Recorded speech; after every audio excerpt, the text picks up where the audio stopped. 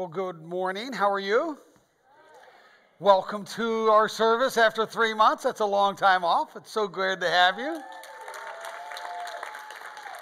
Now, we're trying to create a semi safe place, right? I mean, I don't have my mask on because, you know, I'm 15 feet or 20 feet away from you, but uh, some of you have your mask on. Of course, you know we have uh, more restrictive uh, services before this one.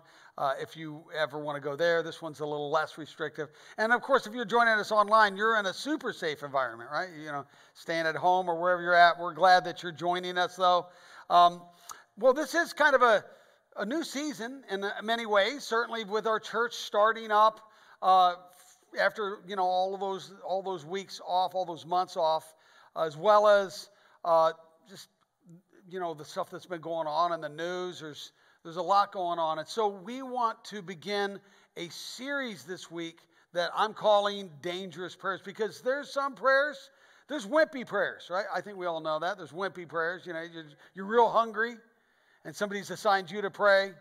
That's a wimpy prayer every time, right? Uh, but there's dangerous prayers that can really change things and make a difference. And so we're going to talk about that and start this week and then go for seven weeks.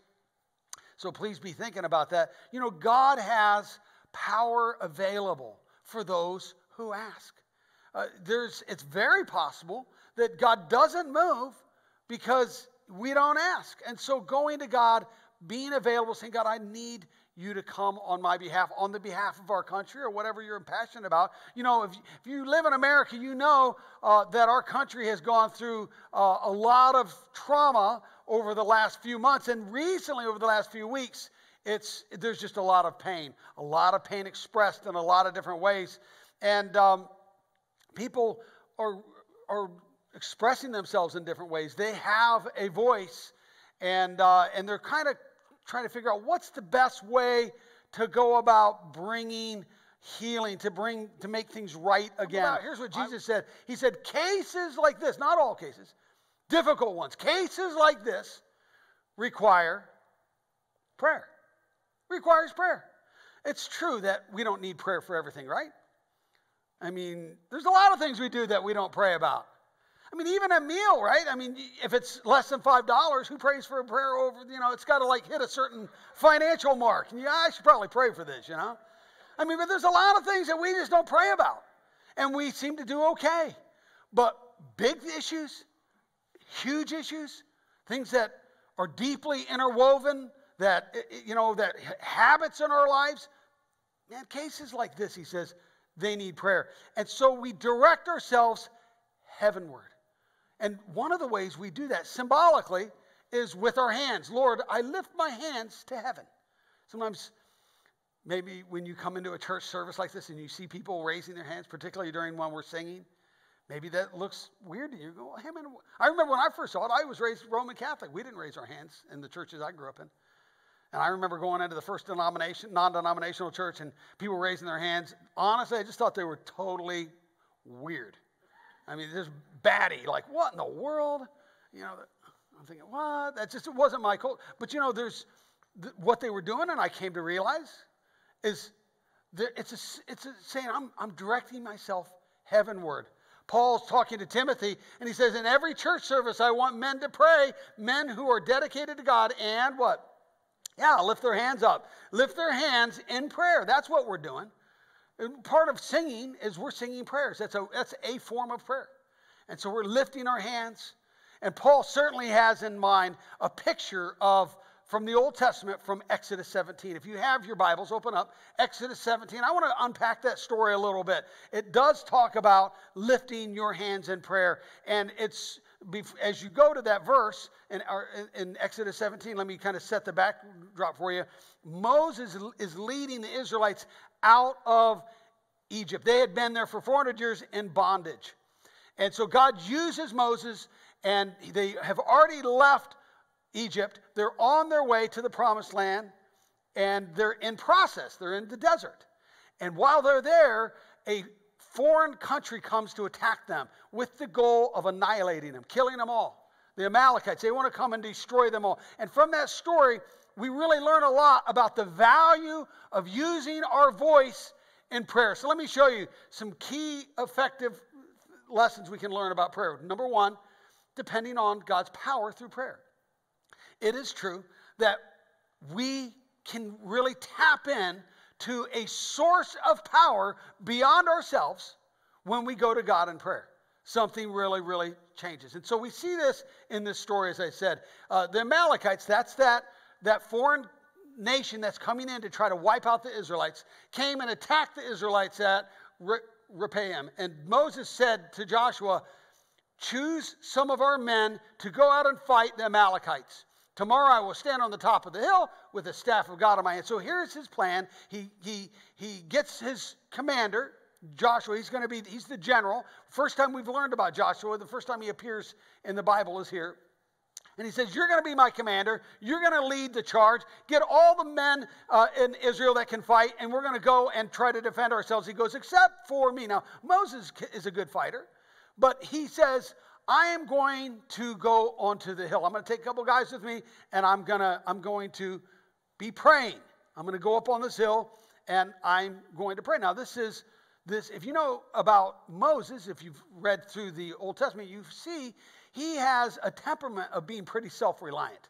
He's kind of like I'll do it myself type of guy. In fact, early on when we learn about Moses, he uh, he's uh, they're still in slavery he's, in, he's been raised in the Egyptian households. He goes and he sees another Egyptian her, torturing a, a, uh, a slave, one of the Israelites, and he, he is so angry at the injustice of it that he kills this guy.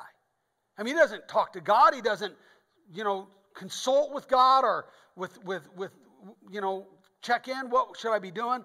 Just out of anger responds and he kills him. And, and that is actually a common response, not, not always murder. But when we see injustice and it has this visceral pain that's connected to it, there's something in us that just wants to, you know, do something and maybe do something pretty aggressive. Now, I know as a kid growing up, I was a very, before I knew Jesus, I was, uh, I was more than rambunctious. I was, I, I caused, I caused havoc and, in, in people's lives, in my neighborhood. I mean, I would have been not just a pro- protester today, I would be one of those people rioting, throwing rocks through the CNN building or something. I mean, I, I told Sharon that. I said, you know, that was me, Sharon. I said, before I came to understand who I was in Christ, that, that's the kind of anger I ha- had in me. Kind, I, was just, I was just so angry. All I needed was anything to give me a reason to express that kind of eh, you know, that, that, that anger. So I get it.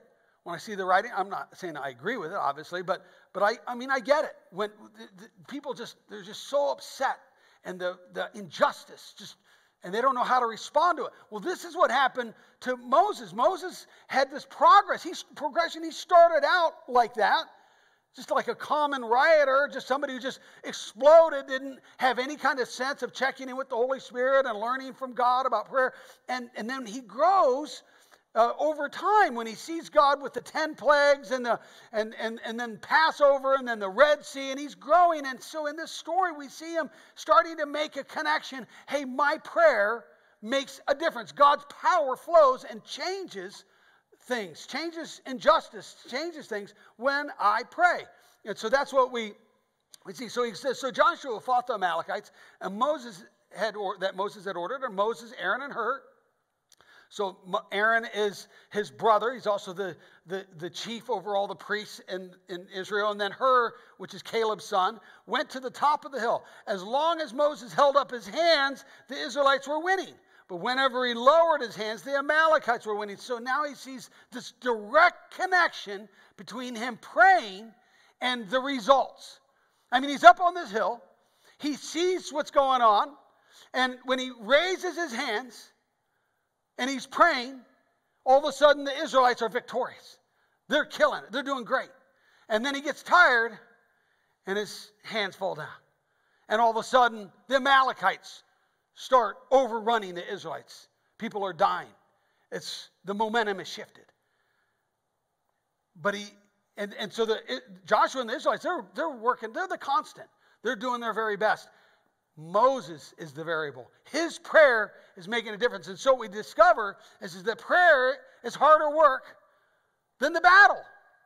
Prayer's making the big difference. Now, in the, when the day's all done, Joshua is going to probably get the kudos for being this, if they win, you know, being the great military commander. He was the great strategizer. He could motivate his men, get them to fight with valor. But Joshua knew.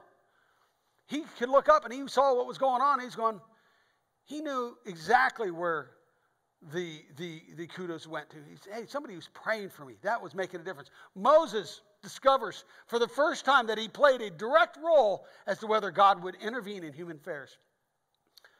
Have you discovered that?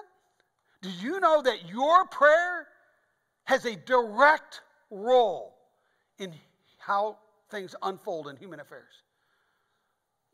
So I you know what most people don't know that.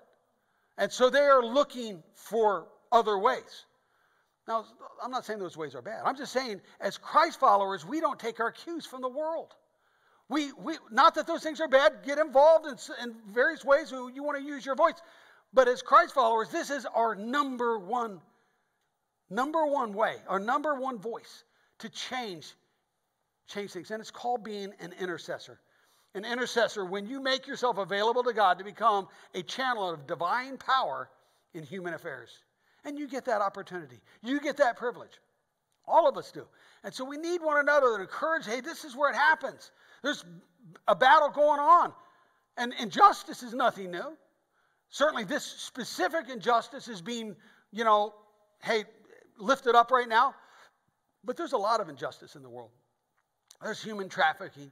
There's children being, the unborn being killed. I mean, there's, there's all kinds of of, of injustice. We're against, we're, we're always fighting that. And it goes back more than two or 400 years. I mean, injustice has been around. And so if we're going to make a difference, we need to be in the fight. We need to be, we need to be people of prayer. The battle was fought in the valley, but the battle was won on the rock on the top of a hill. Prayer is not preparation for battle. Prayer is not an aid to battle. Prayer is the battle. That is where we win the battle. And Christ followers, we don't we can't lose that. It's easy to lose that. You can just end up being like Moses. Hey, I had my hands up for a while. I'm just exhausted. I don't have it anymore.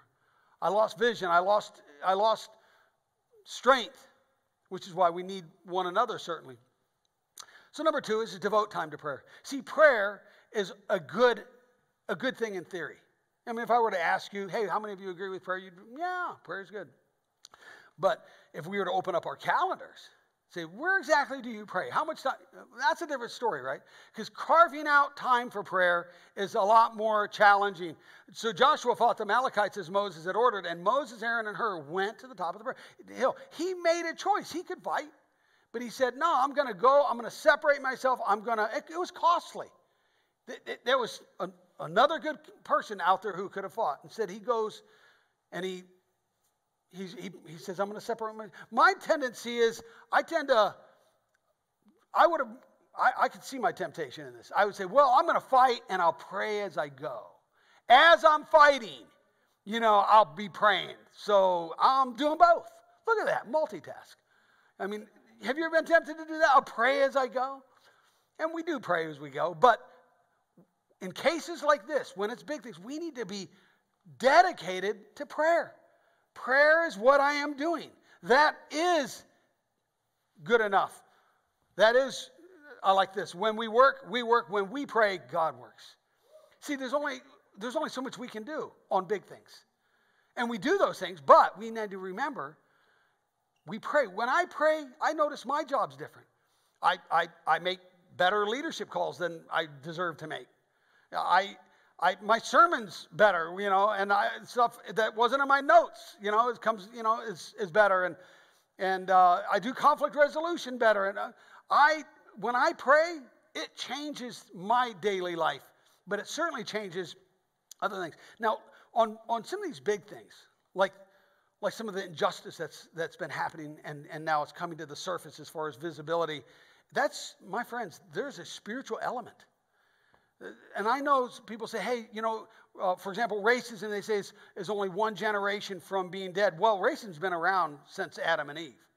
I mean, it is be why? Because it, it, that's true. It is taught by parents, but it is it is a spiritual issue, like any sin. There's a spiritual backdrop, and Paul calls us to step back. He goes, just like the Israelites when they were fighting, and they're you know the kind of the melee, and they're wielding around. People are trying to come in from behind, and got a spear and a sword.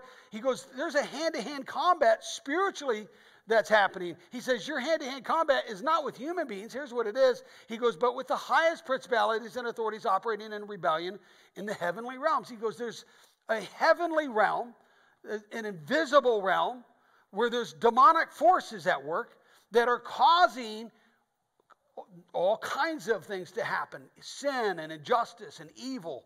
He says, uh, For they are a powerful class of demon gods and evil spirits that hold this dark world in bondage. There is a bondage, and, and, and there's a demonic force that's involved in that. Well, how do you fight a demon god? I mean, what chance do we have at that, right? You know, you get up in the morning, hey, what are you doing today? I'm going to be fighting a demon god. What? I mean, how do you do that? Well, he gives the answer. He says, through prayer. Pray passionately in the Spirit as you constantly intercede with every form of prayer at all times. That is how we fight these spiritual principalities, these authorities, these, these uh, spiritual, worldly spiritual entities that are in the backdrop. And so that's part of that's part. So not only uh, do we pray, but we understand why we are praying. Why we're praying. It's so important. Now, one of the challenges I think with prayer is we we, we tend to think in terms of things being productive and not so productive. You know, I mean, I do that. You know, well, that's real productive time. That's not productive. We don't, I think all of us, and intuitively, we kind of gravitate towards certain things. Let me give you kind of a, a, a, a couple items that you, I want you to think to yourself, is this productive or not? If you're, if you're viewing online, you can type it in the chat. You know, your answer is what you think it is. Okay, the first thing, is this productive or unproductive. Ready? Work. Work. Some of you going, that's kind of unproductive. well, you need a new job then, because the answer was supposed to be productive, right? That was a trick question, okay? So, but it, maybe it'll help you know it's you're done at work. Who knows? But uh, then television, what's that? Unproductive, right? It's, I'm not saying it's bad. I'm just saying it's probably it's not all that productive when we just plop down and watch television. Using large power tools, is that productive or not? certainly feels productive. When I got a big power tool going, mm, feels productive. Vacation. Valuable, but if you're doing a vacation right and you've left your laptop at home or whatever, it's probably not all that productive, right? Vacation. Now, this last one, I want you to just do a gut check. It's just on your own. You don't need to say anything, but a gut check. What comes to your mind, productive or unproductive, with this word prayer. You know the right answer. If, you're if you've read the Bible a little bit and you've been around, what do you really feel? You know, and so understanding this is productive when I pray. Prayer is productive time to God because prayer is partnering with God in his work in the world. See, God has a plan for this world. God is unfolding his plan. And that's why Jesus says that when we're to pray, we're to pray, his kingdom come, his will be done on earth as it is in heaven. He's got a will, he's got the kingdom will. His kingdom is invading this, this, this world, and we play a vital role, and a big part of that is through, is through prayer. Number three, develop creative aids to focus your prayer time. You see, prayer can be difficult. Prayerlessness often comes because we get distracted so easy, right? That happens to all of us. And so we need to remind ourselves of at least two things. One is, is that you need to remind yourself who you're praying for, who you're really praying for. And reminding yourself that helps keep you focused. Joshua fought the Amalekites as Moses had ordered. When Moses, Aaron, and Hur went to the top of the hill, he specifically went to the top of the hill so he could oversee what's happening. He could see what's going on, not so he could report it to God, but so that he knew how to pray. As he seemed like somebody's knees start to buckle, he can pray for that person. Or an ambush coming around, he can be praying for them. And he's, and he's specifically praying. And we need to be praying for people. You know, and, and, and thinking, hey, this is who I'm praying for. This is what I'm praying about right now. When I watched the George Floyd video, uh, when, it, when, when somebody texted it to me, I just started crying. I just weeping. It just, just, probably you did as well. I mean, it was just gruesome. It was just so horrendous. It certainly helped me to pray more specifically. I knew how to pray for what was going on. And, you know, I watched the, the, the funeral this past week and pray, you know, the, the, people that were in pain there and people that are in pain all over the country. But when, when I pray lately, and, I, and I'm praying over issues of injustice, I, I remind myself of that, that, that video. And it helps me to, to pray. We need to remind ourselves who am I praying for? Who am I praying for? Uh, one of the things I like to do is have a list. And I pray, you know, people give me, hey, I, I need prayer, I need a breakthrough here. And um, uh, one of the things that uh, a lot of people like to do is they'll, they'll, they'll pray on Mondays for so and so, Tuesdays on it, because otherwise it's, you know, I mean, how do you get, there's a lot of people have prayer requests. Uh, there's different ways of praying for people, but you want to have some way that you can be praying for somebody. And then remind yourself who are you praying to? That's important. Who am I praying to? Because the God we pray to has the power to change things. Moses said, Tomorrow I will stand on top of the hill with the staff of God in my hands. He specifically takes the staff. You know, that staff had a history with him. When way back when he when God introduced himself and God was going to demonstrate how much power he had there at the burning bush. There's this bush that's on fire but won't be consumed. And, and, and God's having this interchange with Moses, and, and he wants to demonstrate how much power. What does he turn into a serpent? Moses' staff. That's what he turns.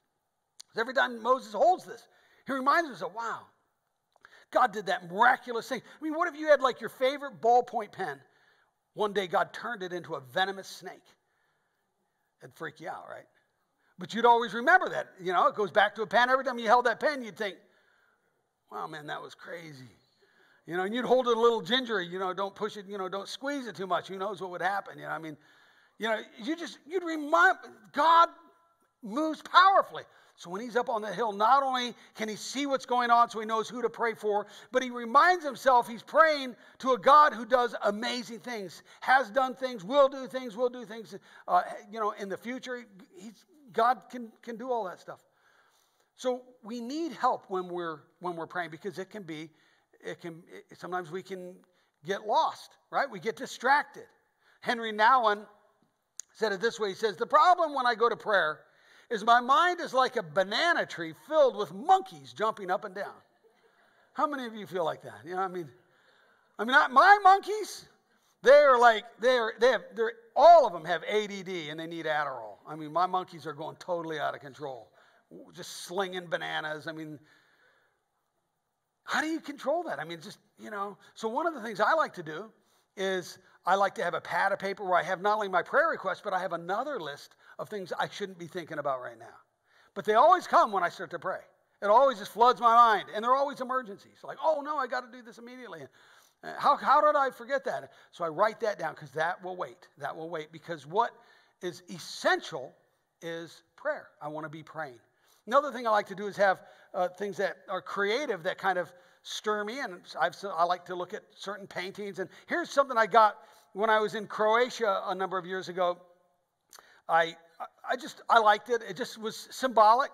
This is the Archangel Michael, who is, uh, he's a warrior angel, and here he's got a sword. He's stabbing a demon god or something. You know, it's like some serpent right through the head. It's just such a victorious thing. And when I pray, I just remind myself, hey, this is not like a yin and yang battle of who knows who will win. No, God is victorious. When we go to Him and we pray, God proves Himself victorious. We have a victorious God, a powerful God. And I just constantly remind myself of that.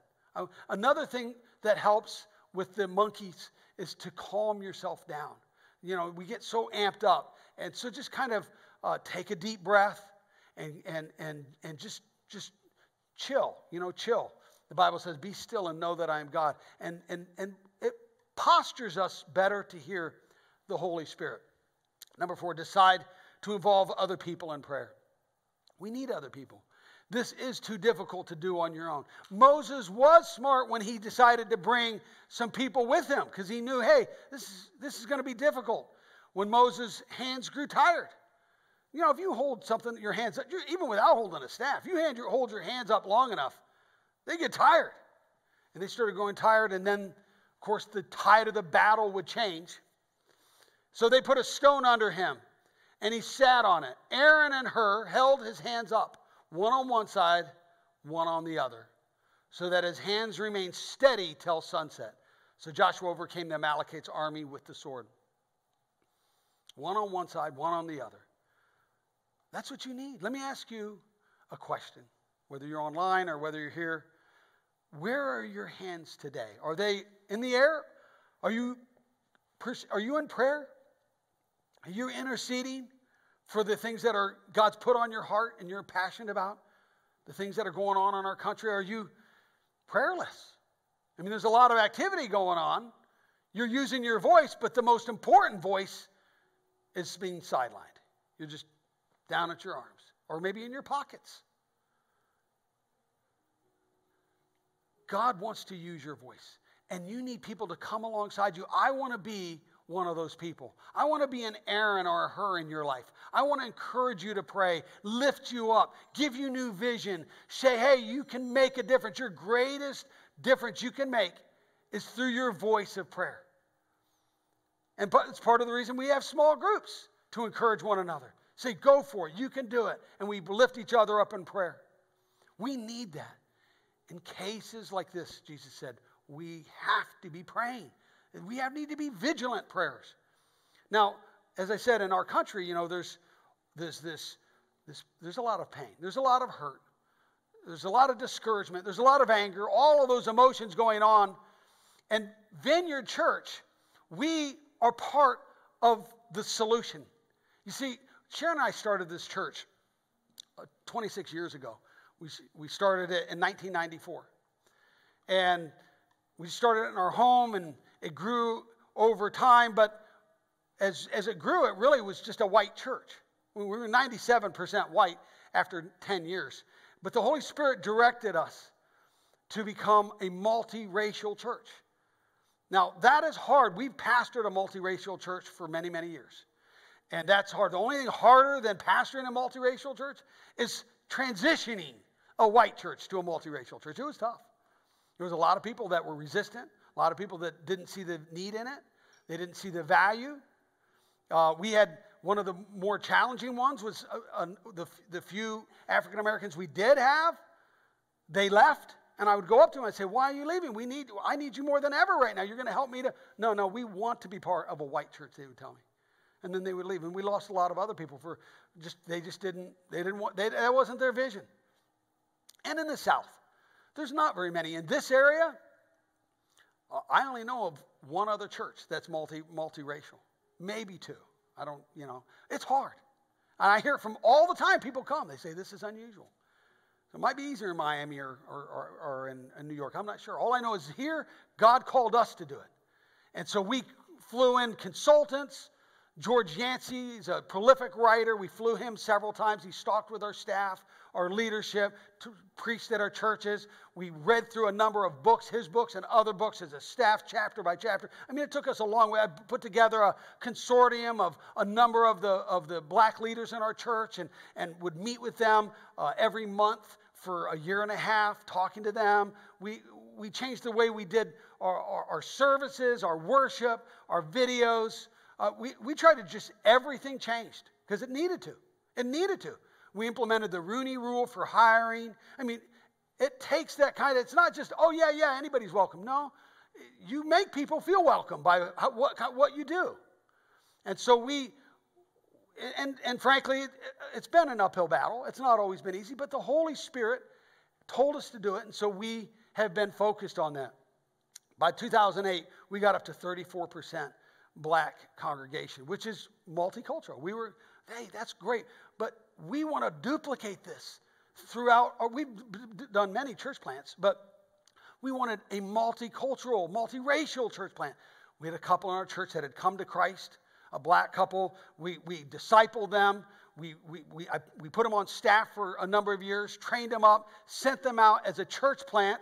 And so we did that in 2010 in Virginia Beach and sent them with 75 of our leaders. A number of them were black. And just and that was that's a sacrifice. See, by then, this was the vision of everybody. It's not just Sharon and mine. All of us, because there's a lot that goes into doing church planting. Friends that people were close to, now you're not going to really see them very much, if at all. That's a big relational sacrifice. Financially, we get $190,000, a little over that, walked out the door with all those people.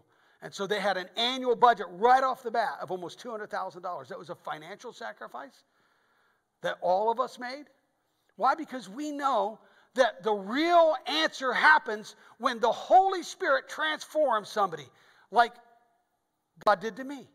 Took a violent, angry young man and turned him into somebody who so started seeing the value in, in, in letting God work in my life, going to Him in prayer, and learning that love is a stronger way to approach things than hate, and all the things that God does in our lives. And so we're, we're committed to, to planting churches and, and, and launching uh, multiracial churches. The problem is, is we went back down on our percentage. So we had to roll up our sleeves, work again to get it back up. By 2015, we got it back up to where we wanted it to be. And then we just launched another one. Many of you know Jacob and Aaron Gaines. They, they both came to Christ in our church, interracial couple. And, and uh, so we brought Jacob on, on, we raised him up, trained him, brought him on staff. He preached a number of times. And then we sent them out, launched them into our, our, our state's capital. And they're doing a great job. This is not just our history, this is where we're going. We're in this fight, and we're, this is what God's doing in our, in our church. And I, I mean, I, I'm, I'm so heartbroken of what br- brought our country into this place of awareness. But I'm thankful that people are waking up because I don't want to do this alone. I want allies, and some of them are even in our church. We've had people in our church that this was not a priority for them, and all of a sudden it is. And I want to say, I'm, I'm ecstatic. I love the passion of this is unacceptable. Any kind, this particular in, injustice, of, but it's also really any injustice. We, we're, we're just against injustice, and we fight for justice whenever we see injustice happening. But specifically, here, here's some other things that we did. We had a national influence because we, the Holy Spirit had us uh, transition so early. That was we were the first vineyard church to do that out of all the vineyard churches in the U.S. There's about 650 of them. So we had uh, uh, an opportunity to really influence them to become more uh, multi-ethnic as a denomination. And then we were, uh, Sharon and I are regional overseers of 35 pastors uh, from Maryland down to the to South Carolina, and we've had an opportunity to influence them. And that so there's a lot of ways we've been influencing uh, for this cause for 16 years. For 16 years, and it's the voice that God's given us. And so we want to make sure and always keep it clear. Our voice is doing what the Holy Spirit says, helping people to see the value of prayer, and that God is the one who really brings real transformation, real healing. Let me close on this last verse. If my people who are called by my name will humble themselves, will seek me, will pray, will turn from their wicked ways. That's he says, This is what I need you to do. Then he goes, Then what I'm going to do, he goes, I'll hear from heaven and I'll forgive your sins and I'll heal your land. My friends, we need healing. We need healing. And where does that come from? It comes from God. It comes from God's response to us, coming with a humble attitude, seeking Him, praying.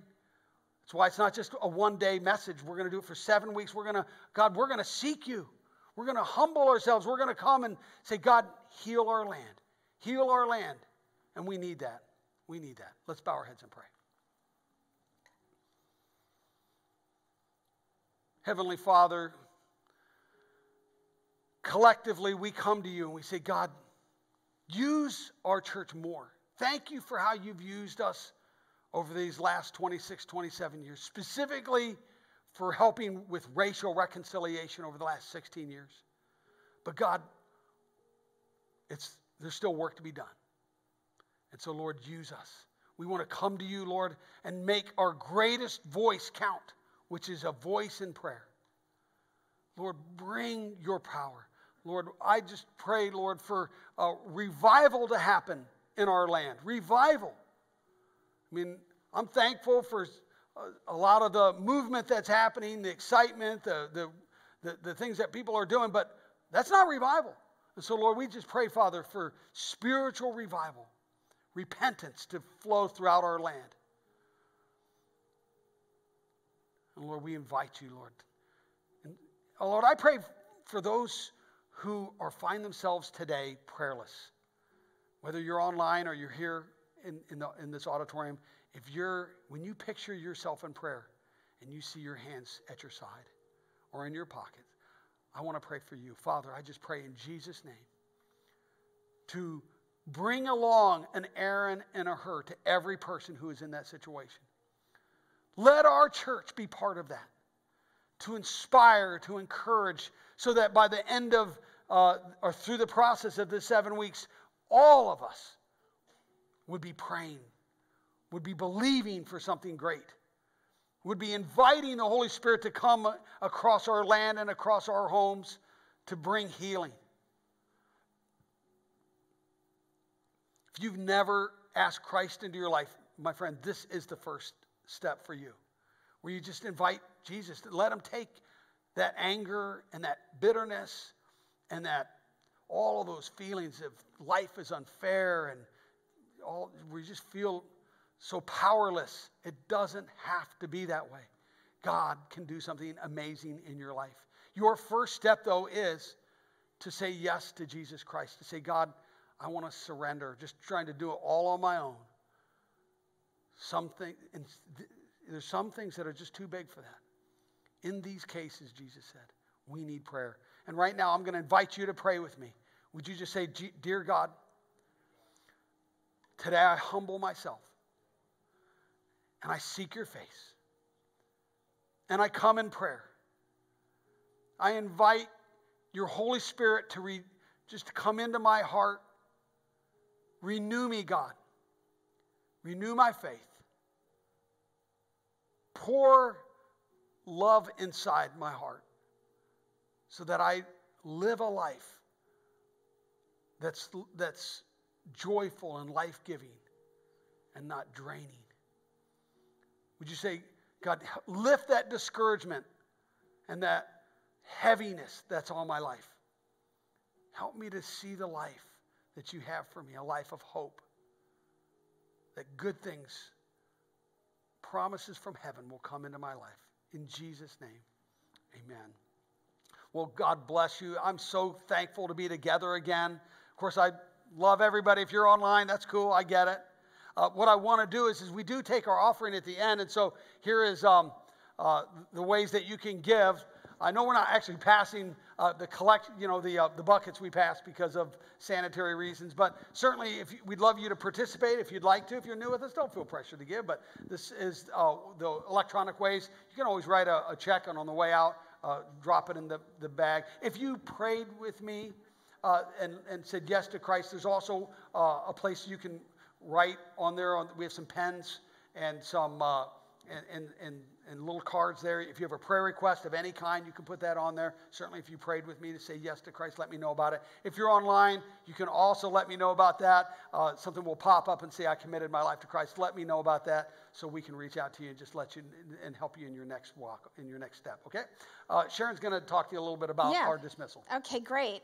Uh, before we lose the online feed, let me also say that if you'd like prayer, okay, there's a button there. You can click it, and it's a live prayer option that is offered to you. There are prayer counselors that are waiting to, to do that with you, okay?